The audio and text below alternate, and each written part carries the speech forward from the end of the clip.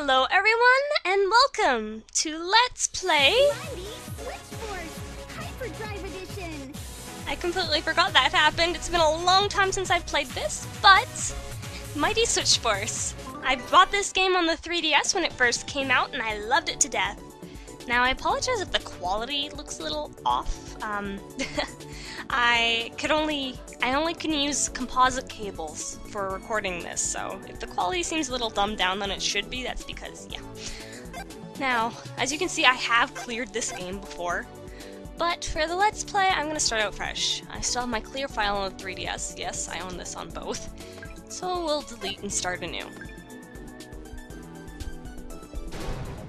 There we go.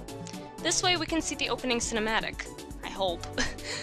First time I've deleted a file and it, eh, it bothers me a bit. Anyways, let's go, shall we? Starting off.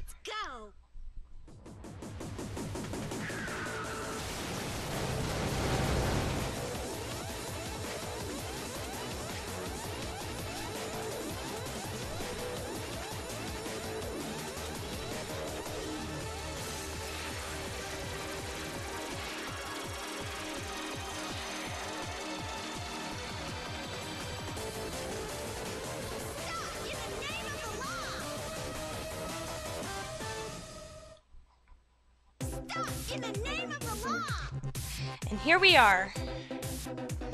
Now, it's pretty much a puzzle platforming game, and I love it. Because it has both the Metroid and Mega Man aspects to it. Now, I know all of these girls are sisters, but I can't remember the full story.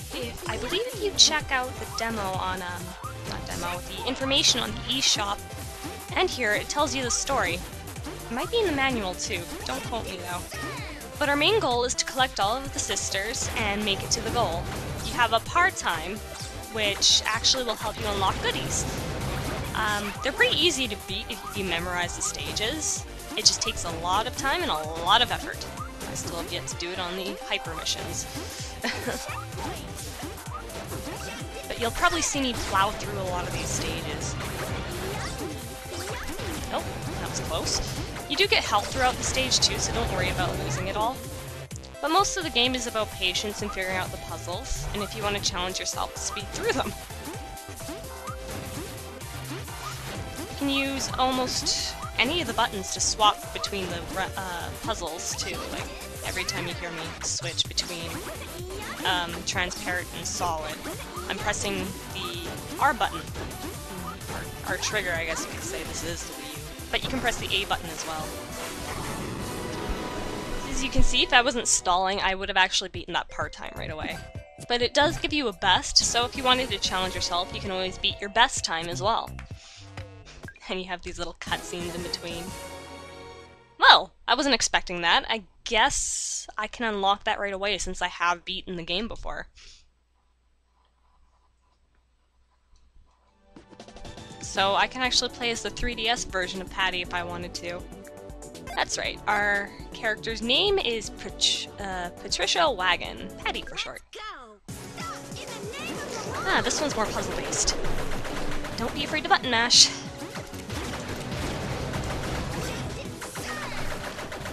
Uh, I've pretty much memorized some of these beginning stages, so it's quite simple to do. And yes, you can get squished. I've done it a lot. Do much with him, so I'm gonna be ignoring him for now. Mm, need to go down.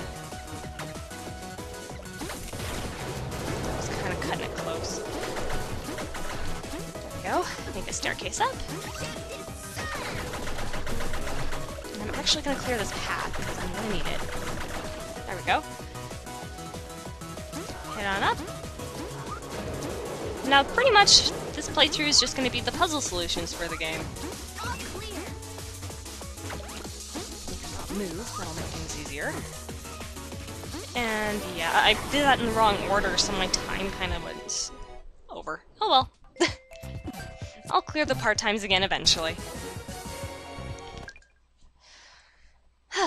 now, honestly, I have no clue how long I'm going to be recording, so this is a fairly short game. I'll probably stick to maybe, let's see, three incidents per recording, and then I'll try for some of the par times as well. Oh, this one's quite easy.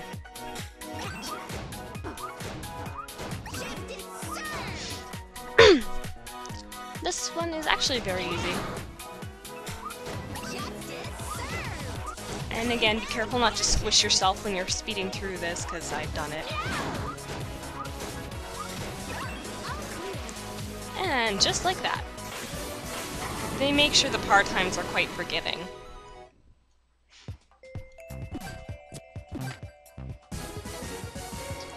And there we are. The par times will never change, so don't worry about it if you beat your time. The best is just to show that um, you can unlock some goodies at the end. Uh, yeah, these are fairly short levels, but uh, I'll keep going. this might be a pretty short Let's Play. But a lot of them are puzzle-based. Since I know most of the puzzles, it's gonna go quick. That's a bomb. I want to disarm it. There we go. Oh. Thankfully, the camera's very forgiving, too. that was close.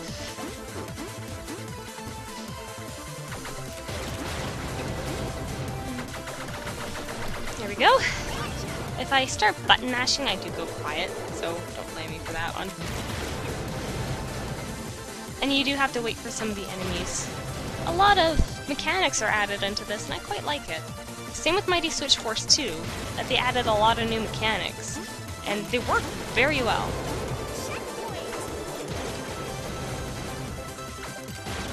One,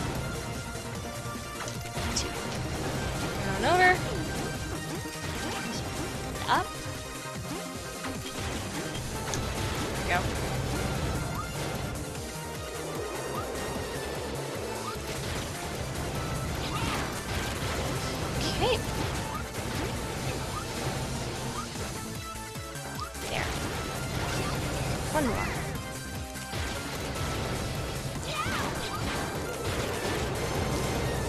Yeah, being quick on the ball's not too hard. Okay. And you'll have to do this with Patricia as well, so don't worry too much about it. It does get a little tricky later on. There is something you can unlock at the end of the game that makes the par times easier. Don't worry about it too much. Hmm. Well, let's go with one more incident for today. Let's go. Incident 5. Now this one's interesting. Um, can't do anything with him yet. You can squish the enemies as well with your ability so it's kind of a double-edged sword. But this is pretty much the main focus and gimmick of the game. Have him walk on over, shoot him up. Oh, I know what to do. Get him to walk down there. Oh, I missed. Have him walk back. There we go. And then you have these guys too, which will charge up, but you can squish them as well. Quite, quite a simple game, but what I really love is all the detail they put into hand-drawn animation. I love when gamers do this. I've always loved hand-drawn animation, just because it takes a lot of time and effort to do so, but it turns out so much smoother than 3D models do see if I can't get him to walk on over. I'm definitely going to be leisurely taking my time through this game, so... Squish! on up. That's three. Uh, do -do -do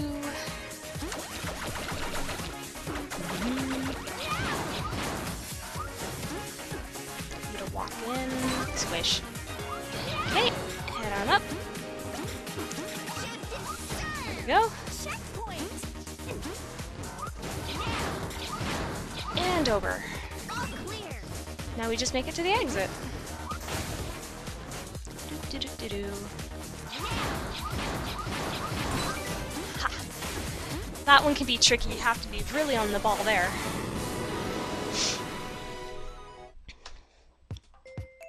Yeah, I've actually known about WayForward since they first released Shantae back in 2002. That's when I first learned about them. And then I actually got one of the games they developed, Sabrina the Teenage Witch. Spooked. the animated one. I remember playing that religiously as a kid. These are probably going to be pretty short episodes, but I don't want to show off the entire game in one sitting. So, I'll stop here. Actually, before that, let's show off Pixel Patty, shall we? This is her design from the 3DS. It's got a lot more to it. For some reason, 16-bit pixels can add a lot more detail, but so can hand-drawn animation, but I'm ranting, aren't I? You can see the difference in movement. This is what I was playing when I first came across this game. And I enjoyed it so much that it actually froze my 3DS.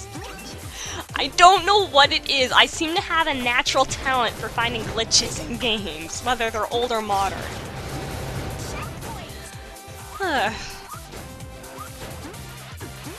but I kid you not, I was playing this game trying to beat the par times, and my console froze playing it. It was quite interesting. I should have taken a picture.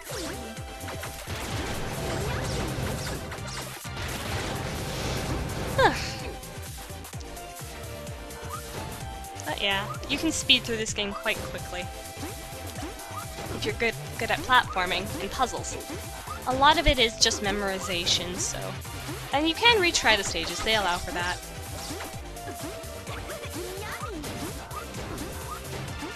The last stage may be a little tricky, though.